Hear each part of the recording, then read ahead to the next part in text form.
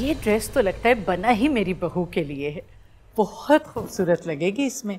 अल्लाह ने उसे ऐसा मशरक़ी हुस्न दिया है माशाल्लाह। मुझे तो लग रहा है ये वाला ड्रेस पहन के तो बिल्कुल शहजादी लगेगी मेरे घर की। उफ ये वाला अच्छा ये इसका कर लें। ये कलर भी बुरा नहीं है बड़ा डिफरेंट सा है। जी। सही और अस्सलाम वालेकुम। वालेकुम अस्सलाम। बोर हो रही थी घर पे। सोचा यहाँ चक्कर लगा लूँ। शादी वाला घर है। अब तो डेट भी फिक्स हो गई है। और ताई अम्मी अगर कोई काम हो ना तो बिला झिझक कहिएगा मुझसे। प्लीज़ बैठो तो सही। काम तो अब तकरीबन सभी हो गए हैं। बस अब मेरी बहू को जाके ओके करना है। तो आपने उसे बिना दिखाए सब कुछ कर लिया? भाई, वो तो बहुत सीधी सादी मासूम सी बच्ची है। जो पहना दो पहन लेगी, जो खिला दो खा लेगी। भाई, माँ ने बड़ी अच्छी तरबियत की है। खुद माँ में भी कोई लालच नहीं है, बिल्कुल। बहुत ही अच्छी बच्ची है। भाई, हैदर, अब तुम उसको लेकर जाओ और उसे चीज़ें पसंद करवाओ। अगर कोई चीज़ उसे बहुत पसंद आए तो फ़ौरन ऑर्डर कर देना। और अगर कोई चीज़ नहीं पसंद है तो कैंसिल कर देना बस उसकी मर्ज़ी से करो। जाने देंगे वो उसे साथ। मुझे तो अच्छे खासे दकियानुसी लोग लगते हैं। तकिया नूसी तो बिल्कुल भी नहीं है। सीधे साधे शरीफ लोग हैं रख रखाव वाले। अनीसा बेगम का दिल बहुत बड़ा है भाई। ना कोई लालच। बहुत ही सीधे साधे से लोग हैं। क्या तरबियत की है अपनी बेटी की? दिखाए ना तो फिर क्या लिया है उसके लिए? मैं भी तो देखूँ। वही जो आजकल चल रहा है। हाँ ताई अम्मी बत पता तो चले। दिखाएँ। हाँ हाँ। देखो ना तुम। अरे तुम जाओ भाई तुम्हें बहुत काम पड़ेगा अब मैं दिखा दूँगी हम फारिग लोग हैं हम बैठ के देख लेंगे। जाओ। जी।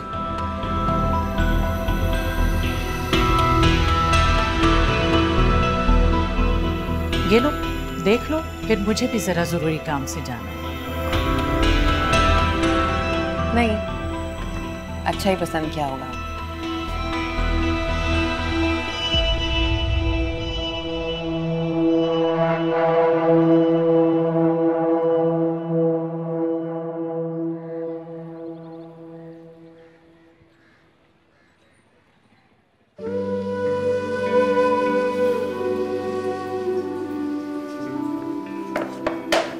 दिलनशीन आज ना अच्छे से तैयार हो जाना। हैदर भाई आ रहे हैं तुम्हें शॉपिंग पे ले जाने के लिए। अम्मी ने इजाज़त दे दी? हाँ।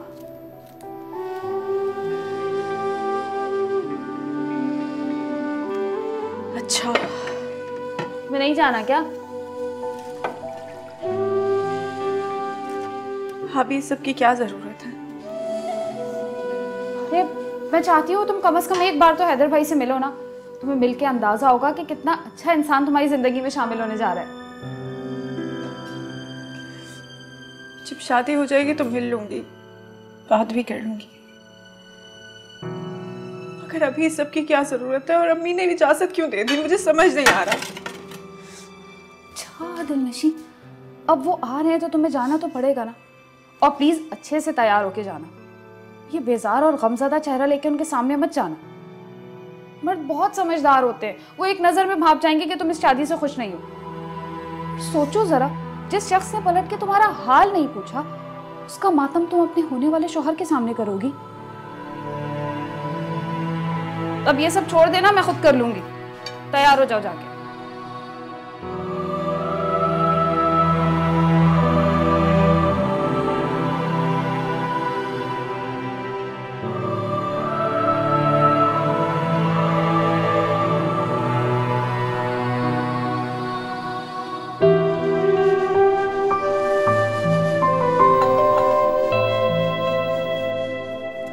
अस्सलाम वालेकुम जी वालेकुम सलाम हैदर भाई आए ना थैंक यू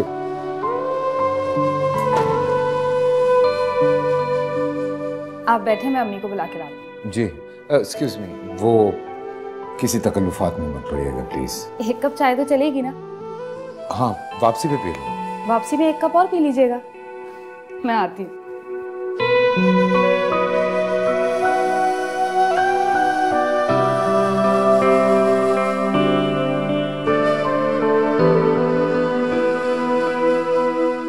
अब अपनी जान की कसम देने के अलावा और कोई चारा नहीं। दिलनशी खुदा का वास्ता है। अपने मंगेतर को अपने माजी के रवैये की कभी भिनक भी ना पड़ने देना। ये तो इस लड़के का रिश्ता था, वरना वो बड़े लोग। वो जितना हमें जलील करके गए हैं, इस रिश्ते की वजह से हम झेल गए इस जिल्लत को। वरना मैं तो शायद इस तजलील पर मर ही जाती। तुम्हारे आगे हाथ जोड़ती हूँ दिलनशी हाथ जोड़ती हूँ। इस मंगनी को शादी तक पहुँचने देना। अम्मी हैदर भाई आए हैं। बिठाओ मैं आ रही हूँ।